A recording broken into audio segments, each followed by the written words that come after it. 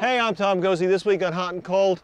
You know, last week I was talking about my uh, daughter's boyfriend was doing all this, these fun projects I don't want to do. This is one of them.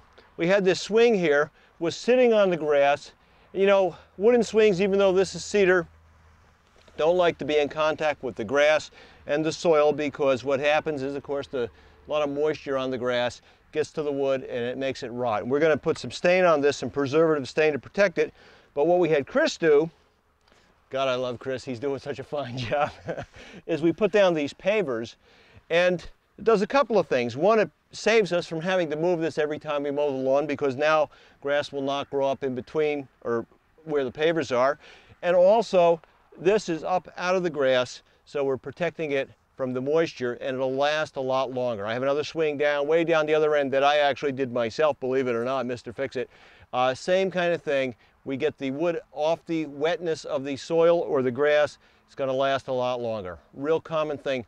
Water is a bad thing when it comes to wood structures, wood swings, wood anything. So we need to protect the wood and we need to get a finish on this real quickly. One thing I noticed here, we've got, just had some rain yesterday. Uh, cedar heartwood lasts a long time, but if there's sapwood, which is the newer wood, you can see here that's starting to actually uh, get a little bit of incipient decay. We don't want that. Hate the incipient decay. Anyway, you see stuff like this all the time in Hot and Cold right here on ABC7, Fox 22, uh, Fox 22 at 8.30 and ABC7 11.30 on Sunday. And I'm not going to play the banjo for you because it's a home improvement show.